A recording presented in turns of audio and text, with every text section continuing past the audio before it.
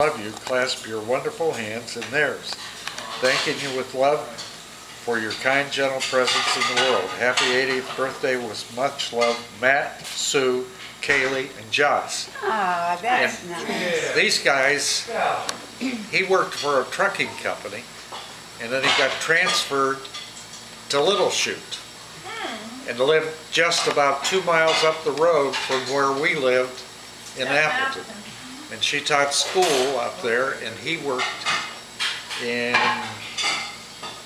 their, their, he's a trucker, he had a terminal, Yeah. and he was the assistant manager up there. Now, he's a manager of a trucking center in Milwaukee.